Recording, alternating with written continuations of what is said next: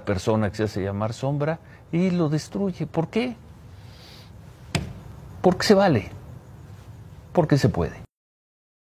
No es un grafitero, no sigue las reglas de las jerarquías entre ellos, aunque esté con el 246 Crew odiado y despreciado por mucha gente de la escena y de la sociedad, y amado por otros tantos que aplauden sus irreverencias. Es un escritor considerado sin técnica alguna, con casi nulo que control y sin estilo.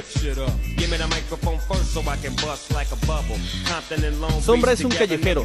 He visto su escritura en barrios mortalmente peligrosos del norte de la ciudad como La Pastora. Ahí los pandilleros respetan su escritura. Lleva pintando 20 años y se ha hecho famoso entre otras cosas por pintar monumentos y de artistas reconocidos.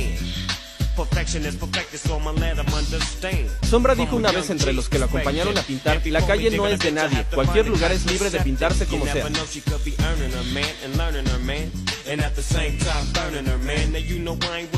Sombra emprendió su trayectoria en Estados Unidos. Miami Art Basel fue el primer punto de encuentro.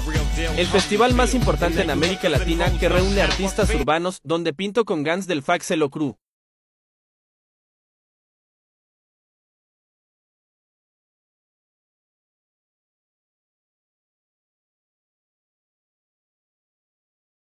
Amar u odiar a Sombra, ese es el punto clave. Graffiti con esencia pura, sin pretensiones y lejos de lo establecido, quien no se abre a ver las posibilidades que hay en el mundo del graffiti.